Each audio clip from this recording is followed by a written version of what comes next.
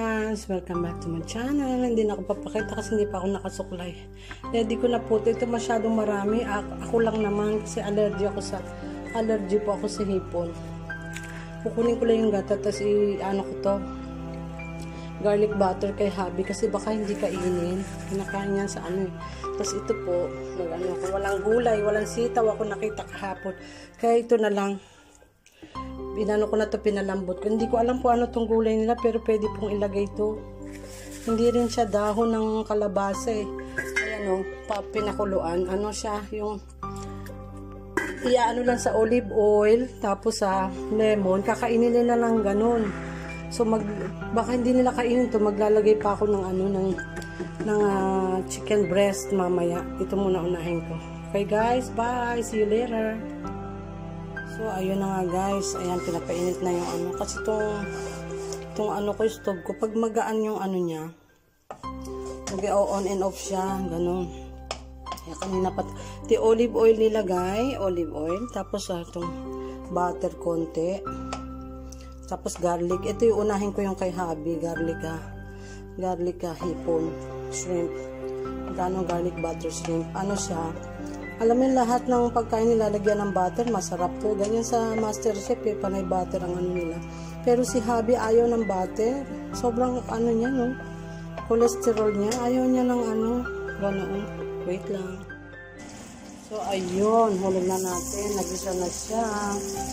Konti lang. Kalahati lang. Isang kilo po yata ito eh.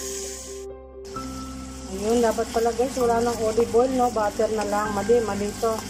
Erase, erase. Huwag niyong gayahin, ha. Patutuyuin ko lang yan.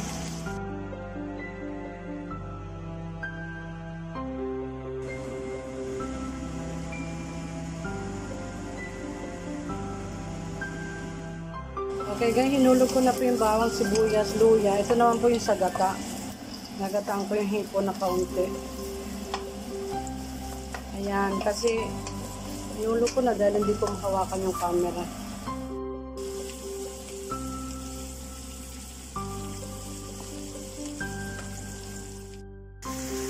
So, diba guys, umubra. Gulay lang naman kakainin natin dyan. Kanin. Ayan, pag mampaigan yung muna, lagyan ng kalagyan ng gata.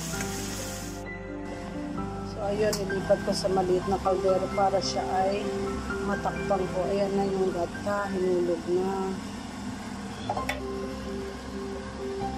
Ayan. Haba na ko sana, ako'y magpapaligo sa matanda.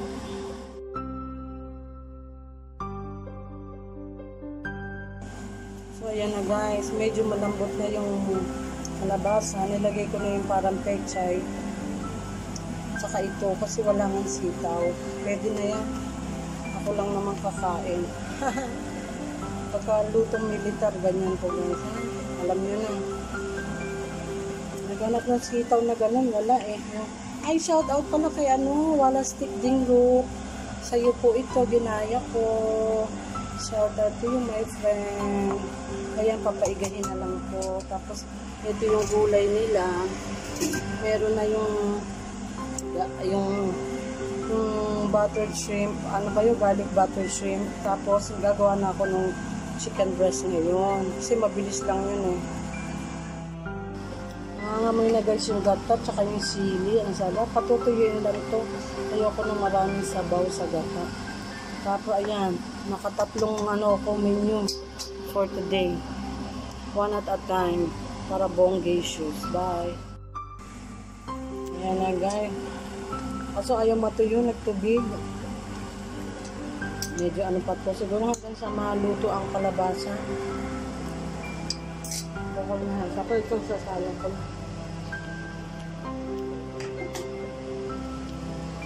Ito 15 minutes lang. Yan ang ulam nila. Tsaka yung hipon na ginisan. Ano ano, hinalabos. Ito akin medyo maanghang na siya. Ang ito, nalagyan nila sa lemon. Tapos na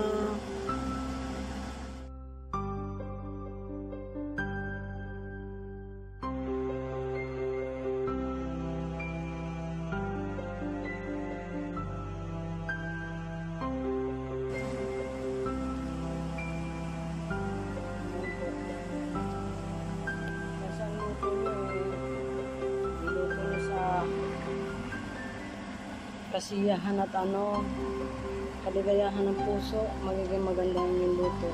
Thank you guys.